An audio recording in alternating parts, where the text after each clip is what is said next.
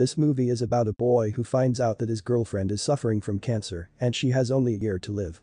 He wants to make that year the best year of her life. The movie starts with a 17-year-old Daryn sleeping in his room, which has a lot of certificates and achievements in his room. This shows that Daryn is an athletic and intelligent student who can achieve something good in his life. He wakes up and goes for a jog as a part of his routine. His father always checks upon him because he wants his son to be fit and pay attention to his studies as well. His father's goal is to see his son studying at Harvard University for which Daryn is working hard, but he has more interest in going out with friends and partying together. Daryn goes to the school and meets two of his friends who tell him about the concert that is going to happen. He sticks with his friends and they go to the concert on the same night. They reach there and they are told that the house is already full to which they are sent away from there. They go to the backside of the building and they see a girl in the building from there. They know that this girl was from the security and they ask her to help them get into the concert. They promise that they will tell anyone about how they got into the concert. She agrees to help them, but she asks for $50 each from them. They start to argue with the girl that they can only give her $20 each when a guy from security comes there. Now we come to know that the blue-haired girl was also like them. She was not in the security and was a runner just like them. They struggle with security for a while and ask the girl for her name. Her name is Isabel and after that, they run away from there. After coming home, Daryn cannot focus on anything as he cannot stop thinking about Isabel, and he obviously is attracted towards her. He tries to find her on Facebook, but the hopes are useless. The next day when he goes for a jog, he passes through an ice cream shop in which he sees a girl with blue hair. He knows that the girl is Isabel. He calls his friends and they go into the shop where they buy some ice cream and upon buying it, he gives some tips as well.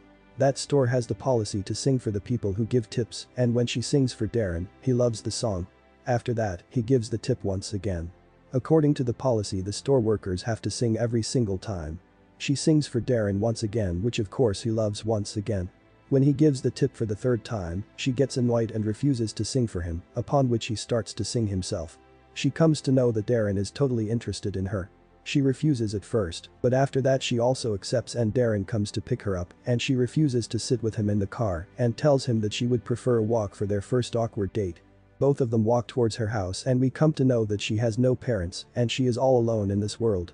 After he drops her at her house they decide to meet again on Saturday, but when he gets home, we see that his father has already made a plan for him to go on apathy on Saturday. His father has arranged a party where he will invite people who will help him get his son into Harvard University. He goes to meet Isabel before he goes to the party, and there she notices that Daryn stays under the pressure from his father. She mentions that Daryn should do what he likes to do and nothing else. He asks her about her interest and whether she goes to school or not. Isabel mentions that she doesn't go to school which is pretty weird for Daryn because his whole life revolves around school and Isabel doesn't go to school.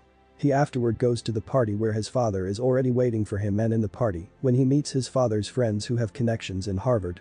During the conversations, he doesn't mention anything that makes them feel like he wants to go to Harvard. He now is on the vision of doing what he wants to, and with time, Isabel and Daryn become very close to each other. They meet each other every day and one day when they are hanging out with each other, his father spots Daryn going with Isabel. His father scolds him and tells him not to go out with the people who don't attend school.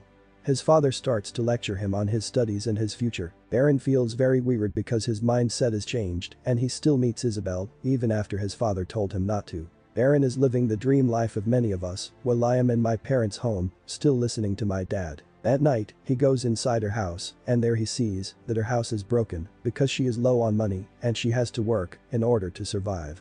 She is technically a poor girl who doesn't care. They kiss each other and Isabel stops him as she mentioned that there is no need for him to come closer to her. Daryn gets a little upset and asks her the reason why she doesn't want him to come closer because they both like each other very much. Isabel gets furious and removes her wig from her head. She is bald and mentions that she has cancer.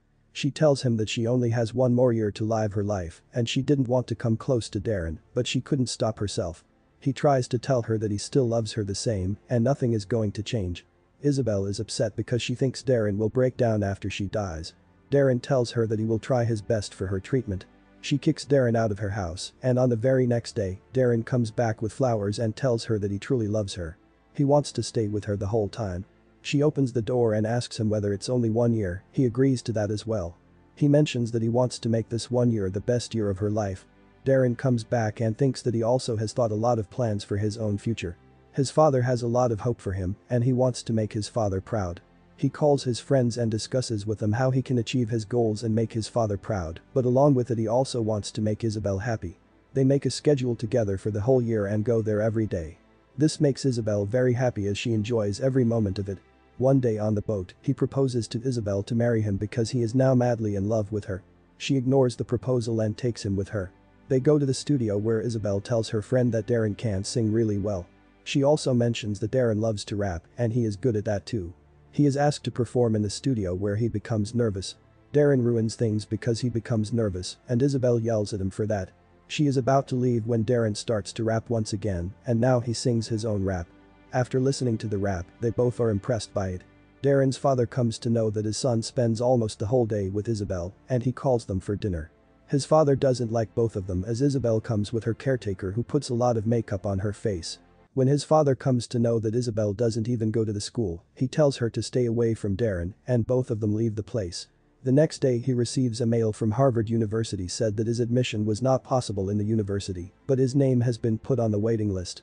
If someone doesn't want to go to the university, he will be called instead of them. When his father comes to know the truth, he takes Daryn to the same friend of his who has a lot of links. His father's friend asks Daryn how bad he wants to get into the university, and upon this question, he completely denies that he doesn't want to go to the university, but his passion is to become a rapper. They leave the office, and now Daryn is yelled at by his father. He tells his father he will do whatever he likes. He tells his father that he will become a rapper as it is his passion. Daryn goes to meet Isabel afterward, with whom he plans to go to a different city. They plan to go to New York and they enjoy this journey a lot. They go to New York City and there a concert is held. That is the concert of the rapper that Daryn likes the most. Isabel tells Daryn to go to the rapper and give him the CD which they recorded in the studio of his friend. He meets the rapper but due to the overexcitement, he forgets to give him the CD of the rap that he recorded. Isabel gets upset because of that and Daryn comes to know that her mother also lives there in the New York City.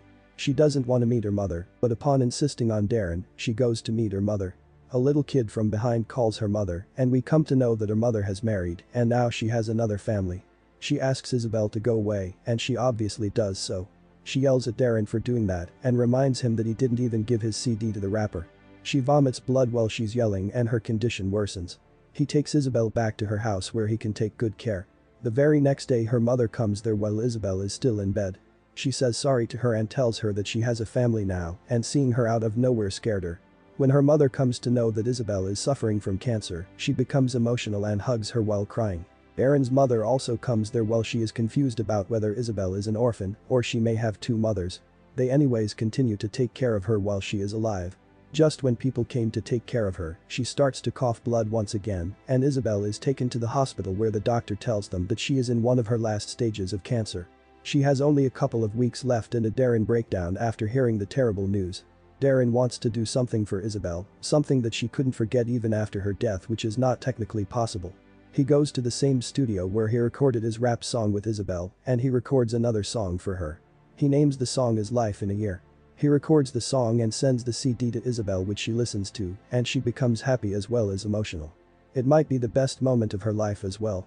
Along with that, Daryn's father listens to the CD of the previous song that he had recorded and which he forgot to give to his favorite rapper.